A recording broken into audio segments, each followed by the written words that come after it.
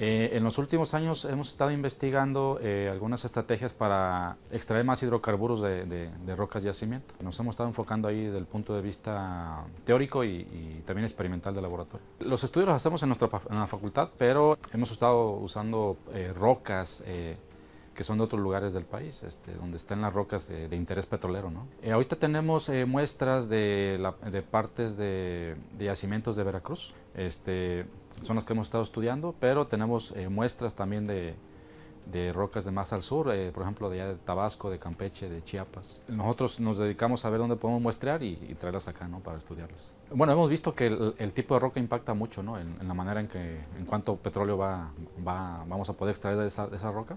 Y nosotros nos hemos enfocado a, a estudiar algunas sustancias que pudieran mejorar la movilidad del petróleo y, y de esa manera extraer más. ¿no?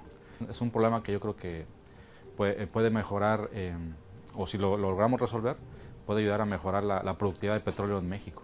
Si uno estudia un tipo de roca, eh, a lo mejor esa roca es de características similares a otros yacimientos en México. Entonces, este, si logramos estudiar, no sé, un, tipo de roca en particular, puede ser beneficio para muchos lugares de, México y también del mundo, de hecho, porque algunas rocas son parecidas, ¿no? Las rocas que se tienen en México con respecto a rocas de Canadá, de Arabia Saudita, por ejemplo, otros países petroleros como profesor de ingeniería petrolera, yo puedo opinar que todavía hay mucho petróleo en el subsuelo en México.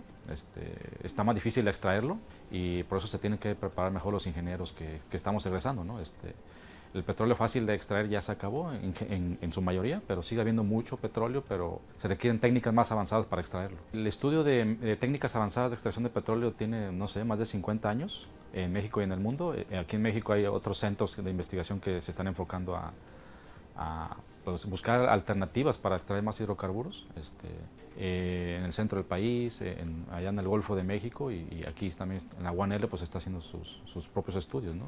Bueno, el primer beneficio es este, lograr formar estudiantes este, capacitados, ¿no? es un beneficio social. Y el segundo es cuando ya ellos se incorporan a, la industria petrolera o, a centros de investigación, ellos puedan dar soluciones para, para Pemex en, en particular, ¿no? de que se tienen alternativas para extraer más hidrocarburos, ya sea de yacimientos nuevos o yacimientos ya viejos que, que tienen baja presión y ya no saben qué hacer, cómo eh, hacerle para sacar más petróleo. ¿no? Pudieran reactivarse algunos pozos que ya tienen baja producción y, con estas eh, sustancias u otras alternativas pudieran incrementar la producción otra vez. En, el got petrolero se usan las unidades de barriles, barriles de petróleo. ¿sí? Este, un barril tiene aproximadamente 159 litros en México, para que tengas una idea, em, se producen alrededor de un millón eh, y medio, un millón seiscientos mil de barriles por día.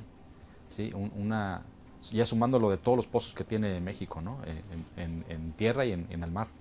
Es interesante, em, ahorita en México y en el mundo la mitad de los yacimientos ya son viejos, ya están, eh, tienen presión agotada. Entonces, casi todos ellos o todos ellos requieren de técnicas avanzadas de extracción de hidrocarburos. Entonces, esta línea de investigación que, se llama recuperación avanzada de hidrocarburos este, tiene mucha, mucho futuro aquí en México y en el mundo. Mira, eh, la Universidad Autónoma de Nuevo León es una de las ciudades más, eh, universidades más importantes de, México, ¿sí? definitivamente.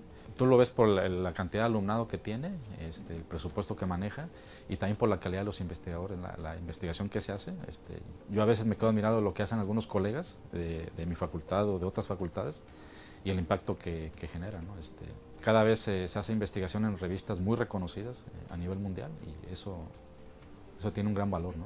La ciencia bien, bien hecha y aplicada y aterrizada puede resolver problemas sociales importantes. ¿no? Por ejemplo, para el, caso que estamos platicando, este, el petróleo se usa mucho en el México y en el mundo. Este, todavía se va a usar. Este, eventualmente el consumo de hidrocarburos debe de bajar y subir otro, otro tipo de energéticos, ¿no? Este, pero vamos a depender del petróleo por muchos años todavía. El petróleo es, es, una riqueza que está en el subsuelo y tenemos que aprovecharla. Si está allá abajo, pues hay que, hay que aprovecharla. ¿no? Este, eh, cuando se desarrollan campos petroleros, pues se genera mucho empleo. Este, usualmente es empleo muy bien pagado para las personas que se involucran. ¿no? Ya de ahí se, lo, lo, usan muchos eh, programas sociales ¿no? o para el presupuesto del gobierno. Entonces, beneficia muchísimo desde el punto de vista social ¿no? este, la explotación eh, de hidrocarburos en México. Eh, esta carrera de ingeniería petrolera en la Universidad Autónoma de Nuevo León se creó en el 2007. Es una carrera joven. Todavía hay, mucho, mucho por hacer todavía desde el punto de vista de investigación y desde el punto de vista de ingeniería. Este, o sea, necesitamos formar ingenieros y poco a poco se tienen que incorporar ingenieros nuevos, este, bien formados, que, entiendan que cómo sacar más petróleo, este, con retos más mayores todavía.